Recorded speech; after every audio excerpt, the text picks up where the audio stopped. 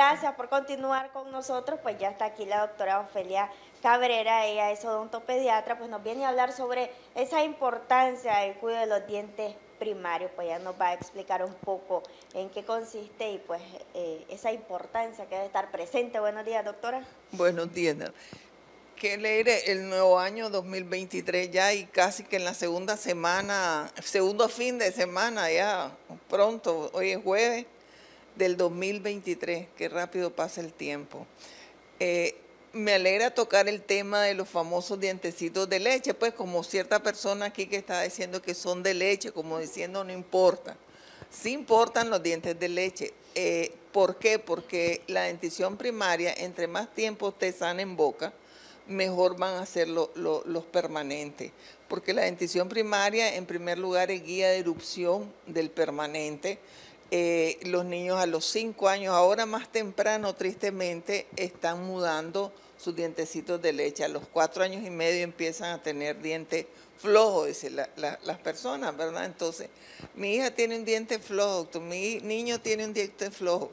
Y solo así lo llevan al dentista. Cuando ellos no pueden extraer entonces yo les recomiendo que coma la buena alimentación. ¿Cómo es el cuidado de los dientes primarios? Desde el embarazo la madre debe cuidarse porque desde la vida intrauterina ya los dientes se están formando.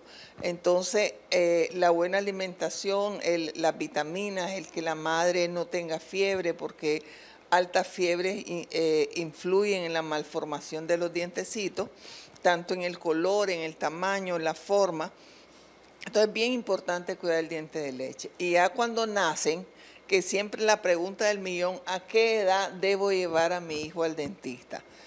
Eh, el niño debe ir al dentista desde que le nace el primer diente. Lo ideal es siempre un chequeo porque el dentista, nosotros no solo vemos dientes, vemos el crecimiento y desarrollo de los maxilares y, los tejidos blandos en boca, hay enfermedades en, en la boca y entre mayor cuidemos a los niños, eh, por la boca entran muchísimas enfermedades.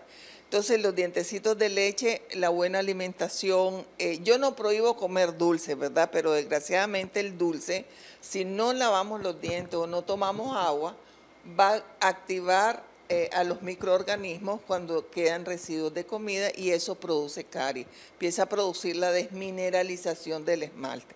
Entonces ya el niño empieza a sentir que es caries, que tengo un hoyito, que mire doctora, tengo una, mi hijo tiene unas manchas negras en los dientes y esas manchas negras a veces son manchas intrínsecas que, por formación eh, desconocida otras veces es por mucho hierro, el hierro en exceso mancha los dientes, los colorea, los pone como cafezusco, otras veces, otras veces es la, falta de limpieza, ¿verdad? A los niños no le lavan bien los dientes, entonces, ¿por qué los dejamos hacerlo a ellos solos? Yo digo que sí, porque el niño tiene que adquirir el hábito de lavarse los dientes para que sea una costumbre del pero los papás cuando son muy chiquitos debemos lavárselo una vez al día por lo menos. Y para mí, que siempre insisto, la más importante es la de la noche, darle. ¿Por qué? Porque ya van a acostarse, cuando el niño va a acostarse es donde actúa en boca todos los microorganismos, entonces si le quedan residuos de alimento, ahí vamos a activar los microorganismos y van a, producir la desmineralización de los dientecitos. Y hay tantos tipos de caries en los niños, hay caries de biberón o caries rampante, que es una carie eh, terrible porque le desbarata los dientes a los niños. Y eso es cuando le damos pacha tanto tiempo a, los niños. A veces hay niños que los padres me dicen, es que hasta los cinco años bebió pacha, doctora es que mi hijo bebe pacha, si no, como no come, me dice, le doy pacha.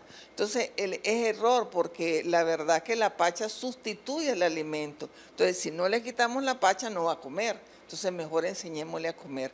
¿Por qué? Porque el niño con la, eh, eh, también tiene que ver la frecuencia con que se la damos.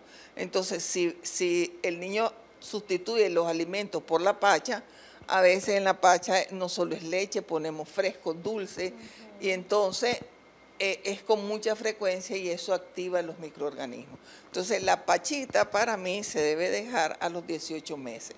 y darle vasitos. Ahora hay vasitos lindos para los niños, de todos los muñequitos, de los que les gusta. Entonces démosles vaso o vaso con pajilla, pues, pero quitemos la pacha temprano.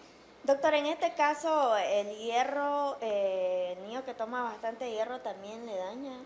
Eh, le mancha los dientes. El exceso de hierro mancha los dientes, los pone, eh, empieza como un color crema, después se convierte en marrón y se va oscureciendo más. Y es una mancha que en el momento sale, pero si la frecuencia sigue, digamos, eh, va a manchar los dientes permanentes, se pueden, pueden salir manchados y es por el exceso de hierro. Los niños mal alimentados, los niños que padecen mucha anemia. Entonces, por eso debemos de dar una alimentación balanceada y nosotros que tenemos un alimento maravilloso que aunque está muy caro ahora, el frijol, eh, eh, es una maravilla, pues el frijol natural tiene hierro. Entonces, a veces el sustituto y los papás que erróneamente autorrecetamos, a veces sin hacerle examen decimos, tiene anemia el niño y le, y le damos hierro. Entonces no, el hierro debe ser recetado por el médico, por su pediatra y, evitar pues dárselo por, porque, tengo, porque hay que darle vitaminas, sí. El niño debe beber multivitaminas y ahí ve el grado de la cantidad de cada vitamina que te debe tomar, pero no recetemos hierro como autorreceta.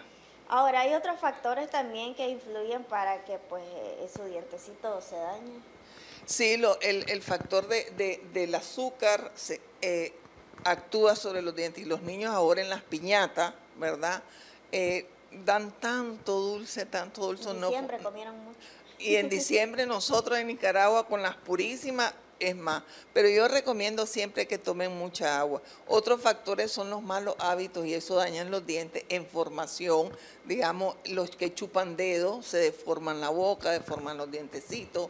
El que bebe pacha también mucho tiempo se deforman los dientes. Eh, los que se comen la uña, me decía una mamá, ¿qué tiene que ver el que se coma la uña? Porque yo les pregunto, ¿y te comen la uña? Veo los deditos. Sí, el estar insistiendo va desgastando el esmalte porque a veces es a un solo lado que ahí cortamos, no es que se la traguen, pues la uña y se la comen. Es un mal decir realmente, es cortarse la uña con los dientes, también daña. El respirador bucal, el, niño que no aprende, que no le enseñamos o el pediatra no, no, no ve que el niño es un respirador bucal, se hacen una mordida abierta desde, desde la primera dentición, entonces eso también daña, daña la forma de los dientes. Eh, el, el chupalengua, que es divertidísimo, es uno de los hábitos más difíciles de quitar, como el chupadedo, que hacen esto. Como bebieron pacha y también tomaron pecho, están. Entonces, eso va destruyendo la forma de la boca. Parece mentira, la lengua tiene una fuerza increíble. Entonces, todo eso, esos malos hábitos influyen en la malformación de los dientecitos. A veces uno dice así, imprudentemente oigo a, personas adultas y, ese niño, mira qué feo tiene los dientes salidos. Entonces, uno como dentista, al ver al niño ya sabe si hay un mal hábito porque la forma de la boca te dice cuando hay, hay niños que al chupar y succionar el dedo aplican una fuerza tan increíble que, la boca tiene la forma del dedo gordo, pues. Hay otros niños que se chupan tres dedos, no sé cómo hacen, pero ellos se meten tres dedos a la boca. Entonces van deformando y hacen una, una boca así, mira, abierta. Entonces eso es influencia desde la dentición de leche o primaria a la dentición permanente. ¿Por qué? Porque el arco de los maxilares se está deformando. Doctora, hay algunos ya en adultos todavía hacen... sí, sí, sí, sí. ¿Por qué? Porque no ponemos los tratamientos adecuados. Eh, eh, debemos los odontopediatras o el dentista general que ve niños, que le gustan los niños, debe interferir en el momento cuando ve un mal hábito de poner los aparatitos preventivos, digamos, una trampa lingual evita los chupadedos, a los chupalenguas, la trampa lingual sirve para ambos, y el respirador bucal, hacerle ejercicio y, y llevarlo al doctor y decirle cómo enseñarle a respirar, que no debe respirar con la boca, que él no le va a pasar nada si cierra la boca y respira por la nariz y hacerle ejercicio. me acuerdo que a un sobrinito mío me llamaba la atención, lo mandaba a inflar chimbomba para que él agarrara aire y lo sacara en la chimbomba para expandir sus pulmones, porque decía el doctor que los respiradores bucales, eh, el aire lo mantenían poco tiempo y, debían de, aprender a, llenar los pulmones con la nariz. Entonces le hacían ese ejercicio, decía el doctor que era para ampliar sus pulmones. Entonces es bien importante a veces, eh, la primera infancia define muchísimas cosas en todo sentido en los buenos hábitos, si el niño vos le enseñas todos los días a lavarse los dientes, tres veces al día, o decirle después de que comas tenés que lavarte los dientes, lo va a hacer costumbre. Y eso, una costumbre, un buen hábito se agarra en 21 días. Vos acostumbras al niño. El comer bien, en las loncheras, por favor, mamá. Yo no digo que no, pues las galletitas también producen caries porque son muy dulces. Pues hay galletas, a mí me encantan las galletas Oreo, digamos ya hice un anuncio. Sobre todo. Me encanta. pero se quedan adheridas a los dientes. A veces hay alimentos que se quedan adheridos, aunque mastiqué y mastiqué.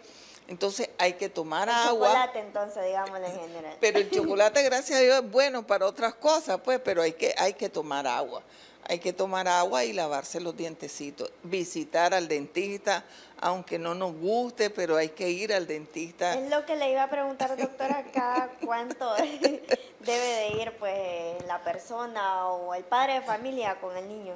Eh, para mí deben de ir cada cuatro meses al dentista, tres veces al año. Sí, eh, mira, el niño, la madre lo lleva y los padres, ahora pues los padres acompañan, gracias a Dios, a las mamás cuando son buenos papás al pediatra. Así como van al pediatra regularmente en los primeros años, cada mes, no, digo que lleguen cada mes al dentista, pues, pero por lo menos cada cuatro meses o sus dos limpiezas profesionales dos veces al año. Y esto es para niños y adultos. Tenemos que ir al dentista dos veces al año, hacer nuestra limpieza, nuestra profilaxis, nuestra aplicación tópica de flúor, porque el flúor ayuda a evitar caries. Eh, no nos los autorrecetemos también, ¿verdad? porque todo en exceso es malo, pero eh, una limpieza profesional dos veces al año es bien importante tanto para el niño como para el adulto. Y sobre todo, doctora, también eh, ir acompañado de la buena alimentación que usted decía, porque no sirve visitarlo si no pones en práctica, digamos, esa alimentación. Digamos, ahora yo veo que muchos niños no pues porque vienen de casa, ahora los alimentos cada vez son más suaves, ya no le queremos dar carne para que rasgue el niño, los colmillos son para rasgar, entonces que aprenda el niño a comer, eh, a comer manzana, a comer alimentos sanos, la manzana es buenísima, tanto la verde la roja.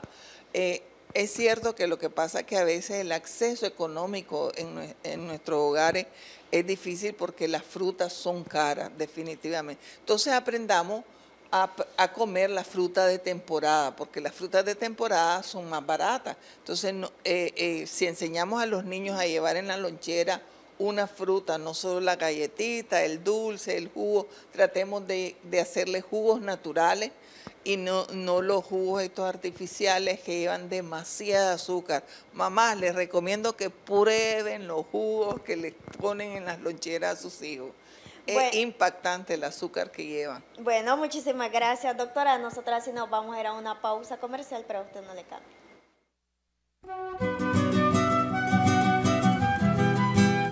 Reconocimientos, denuncias, quejas y sugerencias.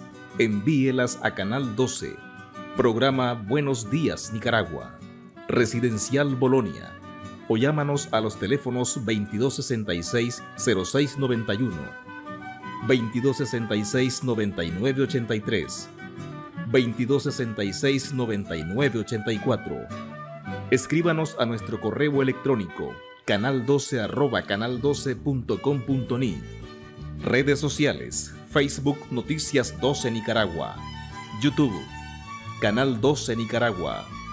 Twitter arroba canal 12 Nic. Visita nuestro sitio web www.canal12.com.ni